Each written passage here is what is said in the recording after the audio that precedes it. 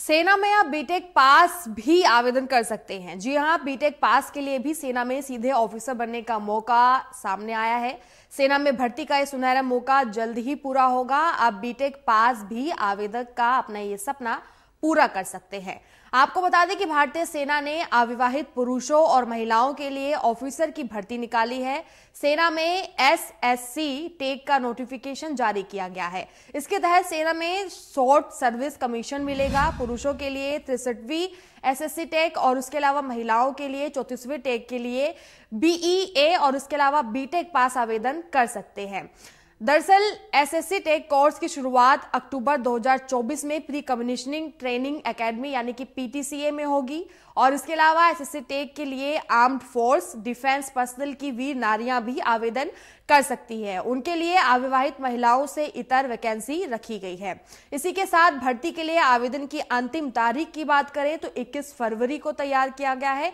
आवेदन भारतीय सेना की वेबसाइट पर जाकर करना होगा। चलिए अब आपको बताते हैं कि एसएससी टेक के लिए उम्र की सीमा क्या है?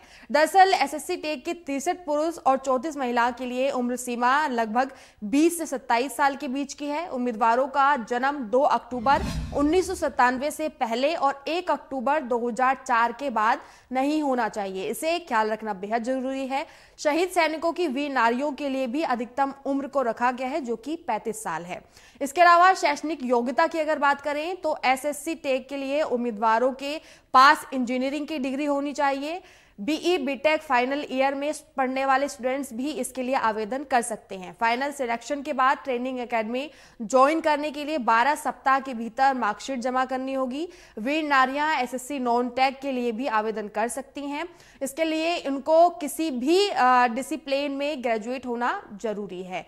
कैसा होगा सिलेक्शन तो सबसे पहले ग्रेजुएशन के मार्क्स के आधार पर शॉर्टलिस्ट किया जाएगा। इसके बाद पाँच स्टेज स्टेज का एसएसबी इंटरव्यू होगा और फाइनल सिलेक्शन एक आ, के बाद उनतालीस सप्ताह की ट्रेनिंग के लिए ट्रेनिंग एकेडमी भेजा जाएगा। जी हाँ तो अब ना सिर्फ़ ऑफिसर से जुड़े जो तमाम कोर्सेज होते हैं वो इसमें आवेदन कर सकते हैं बल्कि बीटेक और बीई करने वाले जो आवेदक होंगे वो भी सेना में आसानी से इस पूरी प्रक्रिया से भर्ती हो सकते हैं। तो ऐसे में अगर आपका ये सपना है तो आप वेबसाइट पर जाकर जल्द ही फॉर्म को भर सकते हैं और सुरक्षण के लिए जो अपनी तारीख है उसको सुनिश्चित कर सकते हैं और सेना में भर्ती का यह सुनहरा मौका आसानी से पा सकते हैं।